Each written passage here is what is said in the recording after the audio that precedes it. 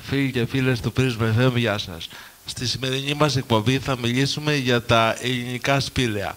Καλεσμένος μας είναι ένα μέλος της πυλαιολογικής εταιρείας, της ελληνικής πυλαιολογικής εταιρείας, ο Θεόδωρος Σταδακόπουλος. Ε, Θοδωρή, σε καλωσορίζουμε στην εκπομπή μας και σαν πρώτη ερώτηση θα ήθελα να μας πεις μερικά λόγια για την εταιρεία που είσαι μέλος. Ε, ευχαριστώ Κώστα. Πρώτα πρώτα γεια σε όλους. Ε, λοιπόν, η Ελληνική Σπηλαιολογική Εταιρεία ιδρύθηκε το 1950 από το ζεύγος Πετροχύλου, Γιάννης και Άννα, Πετρο... και Άννα Πετροχύλου. Ε, ιδρύθηκε λοιπόν με σκοπό να καλύψει κάποιο τεράστιο κενό που υπήρχε στην Ελλάδα εκείνη την εποχή.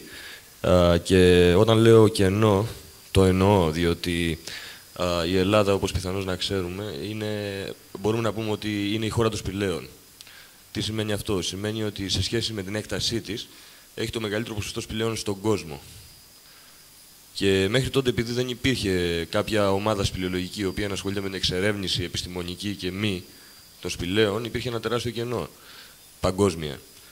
Και ιδρύθηκε με σκοπό να καλύψει λοιπόν αυτό το κενό. Α, δεν ξέρω τι άλλο θα θες να μάθεις για την ελληνική σπηλαιολογική εταιρεία. Ναι, σίγουρα τα σπήλαια στην Ελλάδα είναι πάρα πολλά. Νομίζω από ένα βιβλίο που μου έφερες εδώ στο στούντιο αναφέρονται τουλάχιστον 7 με 7.500 είναι το τόσα πολλά. Α, κοίταξε να δεις. Αυτή τη στιγμή στα αρχεία της ελληνικής σπηλαιολογικής εταιρείας, από ό,τι ξέρω, α, ξεπερνάνε τις 7.500 σπήλαια. Ναι, πάρα πολύ μεγάλος αριθμός. Αλλά Θοδωρή, για πες μου. Ε, βέβαια, το επαγγελμά σου είναι παρεμφερές με αυτό. Ε, η γεωλογία. Ε, σίγουρα η σπηρολογία είναι και, και χόμπι. Ε, πώς μπορεί κάποιο άτομο το οποίο θέλει να γίνει μέλος αυτής της εταιρείας σπηλολογικής και να μα, μάθει περισσότερα πράγματα για τα ελληνικά σπήλαια. Ναι, λοιπόν, ε, κοίταξε να δεις. Ε, σαν κάθε σύλλογο που υπάρχει στην Ελλάδα, το να γίνεις μέλος νομίζω ότι είναι πολύ απλό. Ε, όμως, ο πολύ απλός τρόπος είναι να υποβάλεις μια αίτηση στα γραφεία του συλλόγου και να γίνεις μέλος. Ε, από εκεί και πέρα, το αν θα συμμετέχεις σε εξερευνήσεις πλέον ή όχι, αυτό είναι θέμα του κάθε μέλους και ε, βασικά χρειάζεται κάποια εκπαίδευση για να το κάνεις, όπως καταλαβαίνεις. Ε, αυτά. Ναι, είναι επικίνδυνο σπορ. Ε, δεν νομίζω βέβαια. Κοίταξε να δεις, παγκόσμια συγκαταλέγεται ανάμεσα στα πιο επικίνδυνα σπορ στον κόσμο. Ε, τώρα το θέμα επικινδυνότητας είναι λίγο σχετικό, ίσως, ε, τουλάχιστον αυτή είναι η άποψη δική μου. Επικίνδυνο είναι και που περπατάμε στον δρόμο. Δηλαδή, αξίζει να σκεφτούμε για παράδειγμα ότι τις τελευταίες μέρες με τις πλημμύρες και τις βροχές είχαμε και κάποια θύματα. Οπότε, ξέρεις, είναι λίγο σχετικό ας πούμε, αυτό το πράγμα. Α, για το θέμα επικίνδυνοτητα, τι άλλο να σου πω. Α, κοίταξε να δεις. Επειδή πολλές φορές ε, χρειάζεται να κατεβαίνεις σε βάραθρα τα οποία είναι τεράστια ε, ή να περνάς ε, ε, πολύ στενά περάσματα ή είσαι μέσα σε νερά για πάρα πολλές ώρες, οι οποίες μπορεί να ξεπερνάνε και τις 24, ε, υπάρχει κάποια επικίνδυνοτητα. Ναι, από πλευράς εξοπλισμού ε, είναι δαπανηρό αυτό το σπορ; Αν και δεν πρέπει να το πούμε σπορ, είναι δαπανηρό ο εξοπλισμός που χρειάζεσαι; Α, λοιπόν, κοίταξε να δεις. Από θέμα εξοπλισμού, α, α, σε σχέση με άλλα σπορ, όχι. Δεν είναι δαπανηρό αλλά ε, υπάρχουν κάποια όρια, γιατί ο εξοπλισμός έχει ένα, ένα χρόνο ζωής. Εγώ, ίσως επειδή έχω ασχοληθεί και λίγο με υλικά, μπορώ να πω ότι όλες οι εταιρείες που πουλάνε αυτά τα υλικά, καταρχάς όταν, όταν αγοράζεις κάποια υλικά από αυτά, δεν πληρώνεις ουσιαστικά το υλικό τόσα πολλά λεφτά. Πληρώνεις την εγγύηση της εταιρείας, τα τεστ που περνάνε και όλα αυτά. Ε, λοιπόν, ε, αυτό το υλικό, ξέρεις, όταν το χρησιμοποιείς, ακόμα και όταν δεν το χρησιμοποιείς, γερνάει και άρα πρέπει να το αντικαθιστάς ε, ανά μερικά χρόνια. Αξίζει να σημειώσω για παράδειγμα ότι τα σκηνιά που χρησιμοποιούμε για να κατεβαίνουμε, από τα οποία κρέμει τη ζωή μας, ε, το χρησιμοποίησε, δεν το χρησιμοποίησε ένα σκηνή, θα πρέπει να το αλλάξεις μέσα σε τέσσερα χρόνια οπωσδήποτε. Δηλαδή είναι το κράνος, αν ε, θυμάμαι καλά από μερικές φωτογραφίες που μου έχεις δείξει, ε, κάποια στολή, μπότες και ορισμένους κρίκους και τα... Ε, κοίταξε, βασικά πολλά μπορεί να χρησιμοποιήσεις. Ε, ο βασικός εξοπλισμός είναι ένα κράνος και ένα αρκετά καλό φωτιστικό σώμα, το οποίο πρέπει να είναι ε, στη θέση του κεφαλιού, έτσι ώστε να, έχεις καλή, να μην το κρατάς στο χέρι, δηλαδή να είναι τα χέρια σου ελεύθερα. Ε, καλό ρουχισμό, γιατί πολλές φορές κάνει κρύο, επειδή κάθεσαι πολλές ώρες. αν κατεβαίνεις σε βάραθρα, χρειάζονται κάποιες ζώνες, ειδικές σπηλαιολογικέ ζώνες, από τις οποίες κρέμεσαι. Είναι κάτι ανάλογο με αυτά που φοράνε λεξιπτωτιστέ, ας πούμε. Αυτά είναι όλα. Ναι, Θοδωρή, για πες μας, επειδή καταλαβαίνω ότι έχεις κατέβει σε πάρα πολλά σπήλαια σε όλη την Ελλάδα, ε, ποιο ήταν το πιο εντυπωσιακό κατά την κρίση σου και πόσες ώρες έμεινες ε, περισσότερο μέσα; Α, κοίταξε, από ό,τι καταλαβαίνω τώρα θέλεις να ακούσει ότι το πιο εντυπωσιακό ήταν το σπήλαιο των Καστριών, το σπήλαιο των Λιμνών, για την ακρίβεια. Η αλήθεια είναι ότι το πιο εντυπωσιακό σπήλαιο που κατέβηκα ποτέ ήταν ε, στην Εύβοια, όταν κάναμε τη μεγάλη άσκηση σπηλαιοδιάσωσης.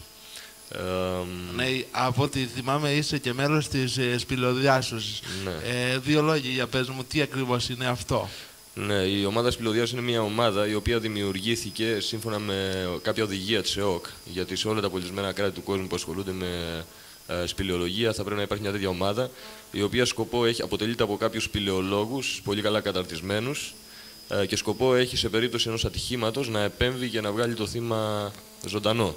Τι σημαίνει αυτό; Ένα ατύχημα μέσα σε ένα σπήλαιο είναι πάρα πολύ δύσκολη περίπτωση. Και συνήθως είναι πολύ δύσκολο να βγάλεις έναν άνθρωπο είτε, από ένα πολύ απλό ατύχημα, ας πούμε ένα σπάσιμο χεριού ή ένα σπάσιμο ποδιού. Ε, φαντάζομαι τώρα ότι θα πρέπει να μεταφέρεις ένα άτομο μέσα από στενά περάσματα, μέσα σε ένα φορείο, μέσα από νερά. Και όλη αυτή η ιστορία, όπως καταλαβαίνεις, προποθέτει κάποια άτομα τα οποία έχουν πολύ καλή γνώση τεχνικών ειδικών, οι οποίες πρέπει να χρησιμοποιηθούν για να βγάλουν αυτό το άτομο από μέσα. Είναι πολλά τα άτομα που έχουν ασχοληθεί με τη σπυροδιάσωση στην Ελλάδα. Uh, εξαρτάται τι εννοείς πολλά. Αρκετά θα έλεγα. Δηλαδή αυτή τη στιγμή νομίζω αριθμοί γύρω στα 10 με 15 άτομα. Δεν είμαι σίγουρος, θα... δεν θυμάμαι. Βέβαια, ο, ο αριθμός ε, για τη συλλογική εταιρεία μπορεί να είναι αρκετά μεγάλος, αλλά σαν άκουσμα φαίνεται μικρός ακόμα. Αλλά για πες μας, ε, βέβαια σε ρώτησα και για το, τη διάρκεια παραμονής σου σε κάποιο σπήλαιο. Ναι, λοιπόν, κοίταξε να δεις. Η μεγαλύτερη διάρκεια που έχω κάτσει σε σπήλαιο ήταν σε αυτή την άσκηση πληροδιάσου που σου είπα πριν ε, και ανεβαίνεις στις 18 ώρες. Ε, είναι πάρα πολύ μεγάλο το, το διάστημα και χρειάζεται νομίζω με μεγάλη υπομονή στις καιρικές συνθήκες και στις αντικσότητες που υπάρχουν ε, μέσα εκεί. Αλλά μίλησε προλίγο για το σπήλο λιμνών, το οποίο όλοι ξέρουμε ότι είναι εδώ κοντά σε εμάς, στα Καλάβρητα. Ε, στην Κορινθία και στην Αχαΐα βέβαια υπάρχουν δεκάδες ή εκατοντάδες σπήλαια. Ε, το, το οποίο γνωστό εδώ στην Αχαΐα είναι αυτό που με προλίγο. Ε, για πες μας για την Κορινθία ή άλλες κοντινές περιοχές αν υπάρχουν ε, γνωστά και αξιοποιημένα σπήλαια. Ε, κοίταξε, για αξιοποιημένα σπήλαια στην Κορινθία δεν έχω υπόψη μου. Αλλά ξέρω ότι, α, κοίταξε όπως είπα πριν, όλη η Ελλάδα σφίζει από σπήλαια. Λοιπόν, η Κορινθία έχει το προνόμιο, αν μπορούμε να το πούμε έτσι, να έχει ένα μεγάλο αριθμό σπηλαίων, ειδικά από ό,τι ξέρω στην περιοχή του Φενεού, συμπεριλαμβανομένων των καταβοθρών για τους φίλους που μας ακούνε και ξέρουν ε, την περιοχή του κάμπου του Φενεού. Ε, επίσης, νομίζω κάπου εκεί κοντά στα σύνορα ε, Κορινθίας Αρκαδίας υπάρχει ένα, από τα, ένα πολύ μεγάλο, ένα τεράστιο βάραθρο συνολικού μήκους 200 μέτρων, δεν είμαι, συνολικού βάθους θα έλεγα 200 μέτρων. Ε, δεν έχω πάει σε κανένα από αυτά. Στο μόνο σπήλαιο που έχω πάει στην Κορινθία και μπορώ να πω είναι το σπήλαιο στο Παναρίτη. Είναι κοντά στο Ξυλόκαστρο. Ε, ένα μικρό σπήλαιο σχετικά, αλλά υπό εξέλιξη αυτή τη στιγμή ε, και αρκετά όμορφο. Ε, πριν λίγο καιρό είδαμε στην τηλεόραση τα εγγένεια του σπήλαιου των Λιμνών στα Καλάβρητα ε, την κυρία Πετροχίλου, η οποία είναι πρόεδρος της πυρολογικής εταιρείας. Ε, πριν μερικά χρόνια, αν δεν κάνω λάθος δύο, είχατε κατέβει ε, εσείς της πυρολογικής εκεί πέρα. Για πες μας λίγο για αυτό το πανέμορφο σπήλαιο. Ναι, όπως το είπες και εσύ, είναι ένα πανέμορφο σπήλαιο. Είναι, κατά τη γνώμη μου, είναι ένα από τα ωραιότερα σπήλαια που έχω δει ποτέ στη ζωή μου. Ε, το λένε σπήλαιο των λιμνών επειδή υπάρχουν μέσα 13 λίμνες. 13 λίμνες. Βέβαια, ο αριθμός τους παίζει ανάλογα με το ύψος των νερών κάθε φορά. Όταν είχαμε πάει εμείς ήταν 15 νομίζω. Α, ναι, αυτή η αποστολή πριν δύο χρόνια αποτελούνταν από 6 άτομα. Α, καθίσαμε μέσα 15 ώρες και δεν ξέρω τι θα ήθελε να ακούσεις γι' αυτό. Σίγουρα πρέπει να προσπαθήσουμε να περιγράψουμε αυτό το υπέροχο θέαμα, θέαμα όπως το λες και εσύ, γιατί ο πολλής κόσμος ή δεν το ήξερε ή δεν μπορεί να, να το δει διότι νομίζω ακόμα δεν έχει αξιοποιηθεί τόσο πολύ ώστε να είναι βατός τους κοινούς κινητούς με, σε εισαγωγικά. Ε, λοιπόν, όλοι κοινοί θνητήροι είμαστε. Ε, εν πάση περιπτώσει. Ε, ναι, να προσπαθήσω να το περιγράψω. Λοιπόν, ε, θα ήθελες ημερομηνίες και ώρες; δεν ξέρω.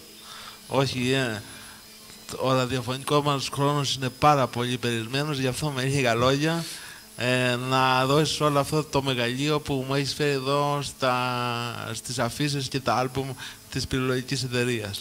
Ναι, λοιπόν, κοίταξε να δεις. η όλη διείσδυση, να το πούμε έτσι, μέσα στο σπήλαιο έγινε με τη χρήση βαρκών.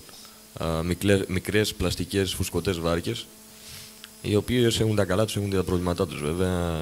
Ε, το καλό είναι ότι μπορείς να τις μεταφέρεις, ξέρεις, περνάς μία λίμνη, μετά παίρνεις τη βάρκα στον νόμο, προχωράς, τη ρίχνεις στην άλλη λίμνη, ας πούμε. Ε, τα κακά τους είναι ότι επειδή το συγκεκριμένο σπήλαιο και εκεί έγκυται η, η, πραγματικά η ομορφιά του, α, όλη η τύχη, να το πούμε έτσι, ο τείχος του σπηλαίου, είναι καλυμμένος από κρυστάλλους, κρυστάλλους ασβεστίτη. Α, για όσους φίλους ξέρουν, ασβεστίτης είναι το ανθρακικό ασβέστιο που λέμε. Α, και α, με το φως που έχουμε στο κεφάλι μας, το φως που έχει κάθε σπηλαιολόγος για να βλέπει μέσα, α, αντανακλούν αυτό το φως και λαμπυρίζουν ξέρεις, ανάλογα πώς χτυπάει το φως επάνω στους ε, κρυστάλλους αυτούς, έχουμε ένα λαμπυρισμό ο οποίος αλλάζει με το περπάτημα. Είναι καταπληκτικό το θέαμα. Λοιπόν, αυτοί οι κρύσταλλοι κόβουν σαν μαχαίρια, με αποτέλεσμα να σκίζουν και τις βάρκες. Και μπορεί, θυμάμαι τότε είχαμε ξεκινήσει με πέντε βάρκες και τελικά βγήκαμε έξω με δύο. Οι υπόλοιπες ε, κοπήκανε στη, α, όταν προχωρούσαμε να μπούμε. Α, λοιπόν, όπως σου είπα, αποτελείται από κάποιες λίμνες, πάνω από 10, 13 ας πούμε τώρα, και συνήθως εκεί που σταματάει μία λίμνη αρχίζει η άλλη. Αυτές είναι κλιμακωτές. Είναι σαν, φα, σαν, σαν μία σκάλα. Α, δηλαδή υπάρχει διαφορά υψομετρική από τη μία λίμνη στην άλλη, η οποία μπορεί να είναι από 10 πόντους έως 1 και 2 και 3 μέτρα. Α, τώρα το, η έκταση των λιμνών αυτών και αυτή δεν είναι σταθερή. Α, υπάρχουν λίμνες οι οποίες έχουν διάμετρο 50 μέτρα και υπάρχουν λίμνες οι οποίες έχουν διάμετρο 10 μέτρα ή λιγότερο. Το βάθος δεν το ξέρω, νομίζω ότι παίζει μέχρι 15 μέτρα το πολύ, δεν είμαι σίγουρος γι' αυτό. Το νερό είναι πραγματικά κρυστάλλινο, α, δηλαδή όταν λέω κρυστάλλινο εννοώ ότι, α, πώς να σου το πω, πολλές φορές δεν μπορείς να καταλάβεις πού είναι το επίπεδό του. Δηλαδή, αν βάλεις το χέρι σου, συνήθως βρέχεσαι γιατί νομίζω ότι είναι πιο χαμηλά από ότι το βλέπεις. Δεν το βλέπεις δηλαδή, είναι τόσο καθαρό. Ναι, είναι πάρα πολύ βαθύ. Δηλαδή, μπορεί να προχωρήσεις χιλιόμετρα μέσα. Ναι, το μήκος του είναι γύρω στα 2 με 2,5 χιλιόμετρα και θα μπορούσα έτσι να το χωρίσω αυθαίρετα, να κάνω ένα αυθαίρετο χωρισμό σε τρία σημεία. Σε, σε, σε, τρεις, σε τρεις περιοχές. Η πρώτη περιοχή είναι οι τρεις πρώτες λίμνες, στις οποίες ε, παρατηρείται ε, η επέμβαση του ανθρώπου. Είναι οι τρεις πρώτες λίμνες που σήμερα μπορεί να δει ο κόσμος. Ε, εκεί μέσα, σε αυτές τις λίμνες, έχει κατασκευαστεί ένας διάδρομος, από όπου ο κόσμος μπορεί να περάσει και να δει τις λίμνες. Όταν είχαμε πάει εμείς, οι λίμνες αυτές ήταν άδειες από νερό, γιατί προκειμένου να, τις, να αξιοποιήσουν το σπήλαιο, είχαν τραβήξει με αντλίες το νερό για να χτίσουν το διάδρομο, μια γέφυρα δηλαδή. Το δεύτερο κομμάτι, η δεύτερη περιοχή, είναι οι υπόλοιπες λίμνες, οι οποίες είναι ας πούμε ανέγκυχτε από τον άνθρωπο. Μπορείς να τις δεις μόνο αν ε, πας σαν αποστολή, όπως πήγαμε εμείς. Ε, και το υπόλοιπο κομμάτι είναι ένα κατεστραμμένο στην κυριολεξία κομμάτι. Ε, πιθανώς είναι από φυσικά αίτια, πιθανώς από αίτια του ανθρώπου, δεν ξέρω, πιθανώς ο άνθρωπος έχει επέμβει. Πώς, νομίζω, χτίζεται ένας δρόμος από πάνω στο βουνό και πιθανώς από τους δυναμίτες και αυτά έχουν πέσει τεράστια κομμάτια από την οροφή με αποτέλεσμα να μην βλέπεις το μεγαλείο του υπόλοιπου σπηλαίου. Βλέπεις ένα κατεστραμμένο κομμάτι. Τίποτα άλλο. Δηλαδή, όταν φτάσεις στα Καλάβρητα, λίγο πιο πέρα, δεν ξέρω πόσα, 2-3 χιλιόμετρα, μπορεί να πας. Δεν ξέρω βέβαια αν υπάρχει καθημερινά ανοιχτό το σπήλαιο για επισκέψεις, μάλλον για Σαββατοκύριακα από ό,τι έχουμε ρωτήσει, έτσι δεν είναι; Ε, δεν ξέρω ακριβώς Κώστα, δεν ξέρω πότε είναι ανοιχτό το σπήλαιο. Εκείνο που ξέρω είναι ότι είναι σε μια περιοχή θαυμάσια, είναι στο χωριό Καστριά Καλαβρίτων. Καστριά Καλαβρίτων είναι λίγο μακριά από τα Καλάβρητα, όχι πολύ μακριά, αλλά δεν μπορώ να θυμηθώ ακριβώς την απόσταση, γιατί τότε ήταν και χωματόδρομος και καταλαβαίνεις. Λοιπόν, είναι σε μια καταπληκτική περιοχή, είναι πάνω στο δρόμο ακριβώς. Uh, μπορεί άνετα ο κόσμος να το επισκεφτεί. Νομίζω είναι μια καταπληκτική εμπειρία. Τώρα νομίζω θα είναι λίγο δύσκολο γιατί λόγω των χιονιών και όλα αυτά. Αλλά θα μπορούσε άνετα να συνδυάσει κάποιος, ξέρεις, μια επίσκεψη στο σπήλαιο και συγχρόνως μια επίσκεψη στο χιονοδρομικό κέντρο δίπλα στο Καλαβρίτων. Ναι, οπωσδήποτε με τα χιόνια.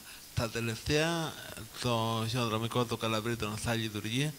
Ε, αλλά δεν είπαμε κάτι για τη ζωή μέσα στα σπήλαια. Δηλαδή νυχτερίδες, ε, διάφοροι μικροοργανισμοί, τι ακριβώς υπάρχει μέσα; Ναι, λοιπόν, κοίταξε να δεις τώρα. Σε αυτό το θέμα δεν είμαι και πολύ ειδικός, δηλαδή δεν μπορώ να μιλήσω πολύ επιστημονικά με αυτό το θέμα. Δεν είμαι βιολόγος δηλαδή. Αλλά, εν πάση περιπτώσει, α, ναι, υπάρχει ζωή μες στα σπήλαια. Πολλές μορφές ζωής της ζωής αυτής τις ξέρουμε. Είναι γνωστές νυχτερίδες εμάς. Οι οποίες είναι οργανισμοί, λέγονται σπηλαιόφιλοι οργανισμοί, δηλαδή Ζουν μέσα στο σπήλαιο την ημέρα γιατί έχει σκοτάδι και τη νύχτα βγαίνουν έξω και κυνηγάνε. Κουνούπια κυρίως, οι μύγες. Μας βοηθάνε δηλαδή πολύ. Α, και αυτό το λέω γιατί υπάρχει μια προσπάθεια από πολλούς ανθρώπους να τις σκοτώνουν. Δεν ξέρω γιατί το λόγο. Και είναι και προστατευόμενοι από την ΕΟΚ. Τέλος πάντων. Α, λοιπόν, νυχτερίδε και υπάρχουν και άλλοι οργανισμοί μέσα στο σπήλαιο οι οποίοι λέγονται σπηλαιόβοι και δεν μπορείς να τους βρεις πουθενά αλλού. Δηλαδή ζουν μόνο μέσα στο σπήλαιο και είναι τελείως διαφορετική από αυτούς που είναι έξω. Είναι κάτι περίεργες αραχνούλες με α, τυφλοί οργανισμοί, επειδή α, είναι απόλυτο σκοτάδι μέσα εκεί. Α, δεν ξέρω τι μπορώ να σου πω πάνω σε αυτούς, τι θα ήθελα να μάθω. Ναι, είναι πολύ αρκετά νομίζω αυτά. Βέβαια, εδώ γεννιέται το ερώτημα. Η αξιοποίηση οπωσδήποτε είναι θεμητή για όλους μας να δούμε αυτά τα υπέροχα πράγματα που μας περιγράφεις αλλά μήπως τυχόν η αξιοποίηση αυτή ε, γίνεται χωρίς κάποια προστασία των σπηλαίων και κάποτε καταστραφούν. Ναι, αυτό είναι ένα πολύ λεπτό θέμα. Εδώ θα μπορούσα να σου πω την προσωπική μου άποψη και μόνο και τίποτα άλλο. Εγώ, αν θες, είμαι αντίθετος στην αξιοποίηση των σπηλαίων. Γενικά, δηλαδή, κατά τη γνώμη μου, δεν θα έπρεπε ο κόσμος να μπαίνει μες στο σπήλαιο να το βλέπει. Τώρα θα μου πεις ότι αυτό είναι ένα είδος ρατσισμού. Γιατί να μην μπαίνει ο κόσμος να βλέπει τα μνημεία της φύσης; Θα μπορούσε να τα βλέπει με άλλο τρόπο. Με κάποιες κινηματογραφήσει, δεν ξέρω πώς, εν πάση περιπτώσει. Η αλήθεια είναι ότι όταν αξιοποιήσει ένα σπήλαιο το καταστρέφεις. Και είναι κρίμα μνημεία της φύσης τα οποία χρειάστηκαν χιλιάδες ή εκατομμύρια χρόνια για να γίνουν να καταστρέφονται έτσι μέσα σε μερικές δεκαετίες. Από το παράδειγμα είναι το σπήλαιο πέραμα των Ιωαννίνων, το οποίο από ό,τι ξέρω έχει σχεδόν καταστραφεί όλο καιρός. Ναι, βέβαια είναι μια πολύ δύσκολη απάντηση αυτή που σου έκανα, μάλλον ερώτηση που σου έκανα, ε, αν επιλέξουμε τη γνώση ή την άγνοια. Ε, και όπως ε, συμβαίνει και με τους αρχαιολογικούς χώρους. Ε, επιλέγουμε τη γνώση με δεδομένη την οποιαδήποτε φθορά που μπορεί να υπάρξει από την παρέμβαση του ανθρώπου. Φίλοι και φίλες, ήταν μια διαφορετική προσέγγιση της ελληνικής φύσης θα ευχαριστήσουμε πάρα πολύ το φίλο του Θοδωρήτο Σταθακόπουλο που σαν μέρος της πυρολογικής εταιρείας μας είπε αυτά τα πολύ σημαντικά πράγματα για τον φυσικό πλούτο της περιοχής μας. Θοδωρή, σε ευχαριστούμε και σε περιμένουμε με νεότερα από την εξερεύνηση των σπηλαίων της Ελλάδας. Εγώ ευχαριστώ Κώστα. Ήταν μια εκπομπή από τον Prisma FM που επιμελήθηκε και παρουσίασε ο Κώστας Ρόλος. Γεια σας.